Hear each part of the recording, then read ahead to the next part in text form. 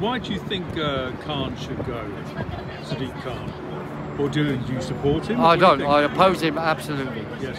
Well, he's uh, undemocratic, imposes things that people don't want. That's the prime thing.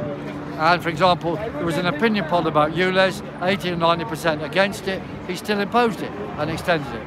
So he works not for the people of London, but for the World Economic Forum. He supports the C40 cities. He's chair of that, which again is to build low traffic neighbourhoods. All this stuff to uh, prevent people driving around in motor cars and keep them in little areas. We're against this. I would make London a 24-7 free city. You're standing for mayor. Well, I wanted to stand for mayor, but the High Court says I can't. What, for why? Well, we had the names in, they accepted they were there, and that was in order, and the money was in, but they said they didn't know the money was for me until after the deadline. However, they do have flexibility on these things because there are confusions often. Yes. So And you they- could still get in, could you? Well, the High, the High Court said no.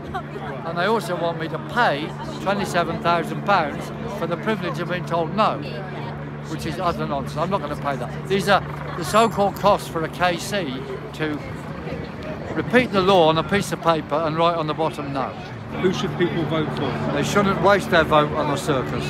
They should go in there for the mayor and say, peace now, peace for mayor. Write that across the ballot paper. For, for the elections on the list, then there is a case to vote for people because, you know, they're actually there. Some of them are okay. I mean, I, I would support uh, um, Laurence Fox, for example. Yes. Uh, he might, I might disagree on many things, but he's clear about wokeism. And he's against wokeism. It'd be good to have him in City Hall going on about that. Great. That's Thank one I could talk much. about, for example. Other people in the in the constituencies, some of them are definitely good, but I, I can't really list them here now. Well, let's hope you uh, get a chance. You never know, they may get you in. Well, somehow, somehow, I'm going to stick on. I mean, I know a lot of people really want me to be London Mayor. No, I'm not. Don't want to do it to be Mayor of London. I want to do it to make change, Yes. to bring London back to a living city. Yeah, it, it was such a vibrant city, wasn't it? Yes. it was, I, I think it's lost its way so It does, it does. And it's due to Sadiq Khan.